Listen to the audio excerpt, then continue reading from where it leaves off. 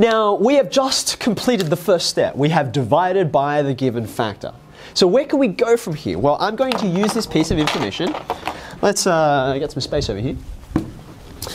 Now, we're going to go from here to a complete factorization. So I want you to remember, um, this part probably is worth writing down, but maybe off on the side, okay? Uh, yeah, it's a zero, remainder zero. I think it's helpful because you will often have remainders and it's important to identify you do have a remainder, it's zero, okay? Um, can you guys help me out? Let's just do a simple numerical one. Can you help me divide this? Yes. What's, what's my first thing I'm going to write down? Can't go into one. Can't go into one. So then the next thing? One. It goes once into that, and I get seven, and then I get three, carry down the zero. How many times? Four times. remainder of four. Uh, four times that is that, and that's why I get a remainder of two. Okay, now the reason why we're going through that is because we can make a statement out of this. This is about division, but I can make a statement about multiplication that's going to be very useful for my polynomial over here. Okay, the statement about multiplication, maybe you remember it is 100. You can write it as how many lots of seven? 14 of them, right? 14 lots of 7. And then there's also a remainder hanging around, right? Remember that? Now I can make a similar statement over here with this polynomial, arranging the divisor, dividend, quotient, and remainder. Okay? Here's the way we're going to write it down. This color. We start by saying the dividend, that's the 100, the thing that was being divided out, right? It was x cubed minus 7x minus 6. Remember that? Right? That was y. I can now break that into, see this part here? I can break it into the two factors that I've just found, right? Those two factors were x plus 1 and X six. Seven. have a look, have a look. This is the question, right? x squared minus x minus 6. X squared minus x minus 6. And then, just like here, I add the remainder on, if there is one. What is the remainder in this case? Zero. It's plus 0, so I'm just going to not write that down. It doesn't change things. Okay, now this is good because what you've got over here is a quadratic, and you guys are very good at factorizing these without any long algorithms. Can someone tell me the pair of numbers I'm after?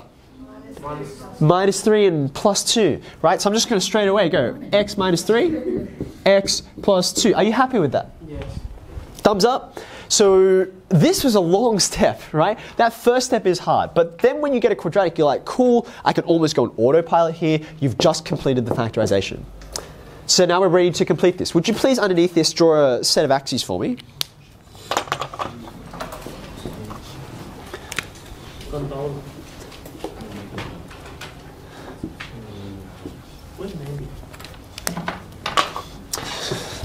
Okay.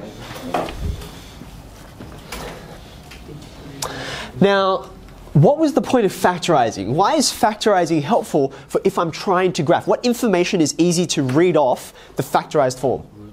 The roots are what I, are easy for me to see, right? Do you want to go ahead and tell me, Shanaf, what the what do you think the roots are? 1, negative 1, Negative one, plus 3, plus three, and negative two. So these are the three roots that I read off of the factors. So I'm going to take those three roots and I'm just going to uh, plot them onto my Cartesian plane here. So let's chuck a negative one, a negative two, and a one, two, three.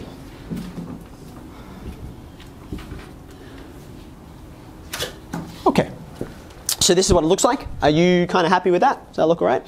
So I know I'm going to pass through these. Now you don't need to draw this, but I'm going to have either one of these or one of these. Either one of those shapes could pass through all three of those points. How do I know which one it is? Is it going to sort of go downward or is it going to go upward? What do you see, Sean? I was going to say go upwards because uh, when you times all the x's, you get a positive. Okay, so we can think about this two ways, right? Number one, as Sean was saying, if I multiply these three things together, they're all positive, right? So you're going to get something really positive as you go further and further to the right, okay? And that works totally fine with me. Um, another way you can think about it is just to put a number in, right? A number like 100. Uh, if you put 100 in here, that's going to be like, what's 100 times 100 times 100? That's like a million, right? A million, taking away some other small stuff. So this is a really big positive number. You following with me? So I know I'm going to be this guy, not the other one. Okay, so I'm heading up in the right hand side. Now I need to join them together. So I'm going to do this. I think my shape is going to look roughly like that. What do you reckon? You okay with that? Do you have a question?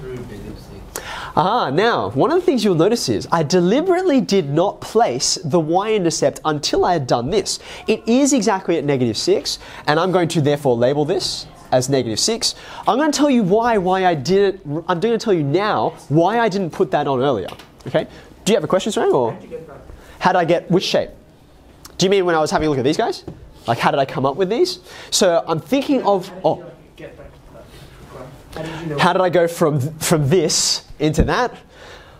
My question to you would be, where else could it possibly go in order to make sure I fit through these three points, right? So just just try and start to draw something, right, that fits this basic overall shape.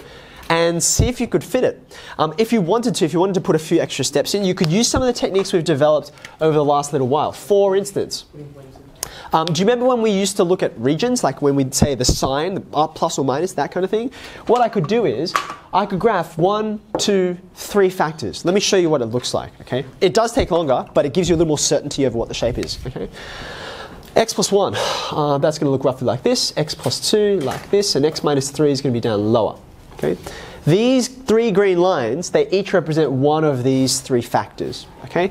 And then I'm going to multiply them together. Do you remember when you were doing multiplication of functions together? We'd give you, you know, a graph. We didn't even tell you what the equations were. We said, hey, multiply these together. Right? Um, when you have a look at, let me make this a bit longer. Here we go. When you have a look at the leftmost part of this graph, this part over here, you've got one, two, three things that are all negative. When you multiply three negative things, what will the sign of the answer be? It'll be negative, right? Negative times negative times negative. Two of them will cancel, leaving you with one negative, right? So I'm negative down here. What about when you hop over one step to the left? How about between here and here? You've got negative, negative, positive. What happens when you multiply them together? Positive. Do you see this is just going to go up and then down and then up and then down because here you've got negative, positive, positive. Together that gives you negative. And last one for completeness. Okay? Three positives. I already knew the first thing that we worked out from the factorization was I knew where these intercepts were. And now I just need to go through those orange areas and those blue dots and find a curve that fits all of them. And this is the one that does that. Does that make sense? You'll start to get to be a bit more intuition for it once you do a few more of these, as you'll see, because all cubics share a lot of characteristics in, in common.